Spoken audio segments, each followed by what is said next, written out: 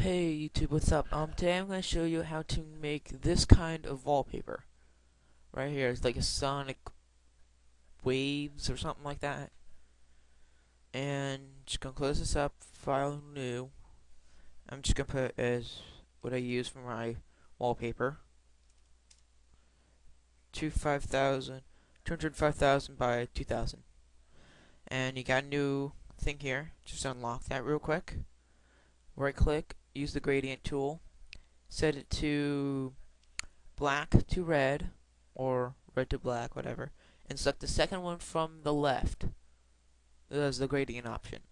And click and hold at the le top left and bring it all the way down to the bottom right.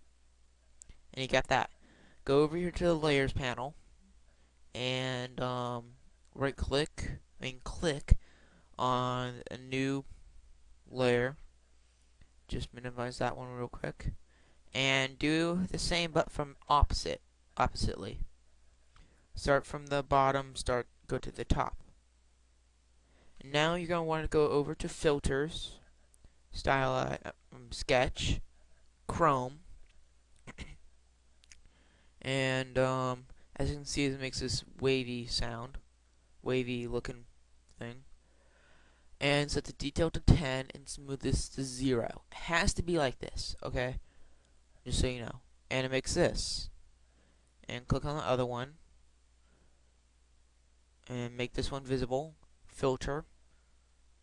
Uh, sketch. Chrome. Same thing. Detail to 10. Smooth to 0. Makes the effect. And click OK. And make both of them visible. Click on one layer. Open up the blending options click on overlay and click do the same thing. But you see it's all dark you can't see nothing. Um, that's I'm going to fix that. Click on new layer and grab your paint bu bucket tool select white and just click on it. Now put the background as on overlay and there you go. And I believe you can make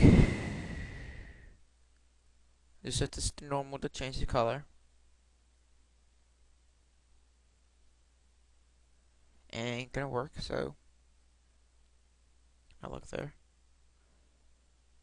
And there you go. And that's effect and quick tutorial. Quick tutorial today. Um, till next time.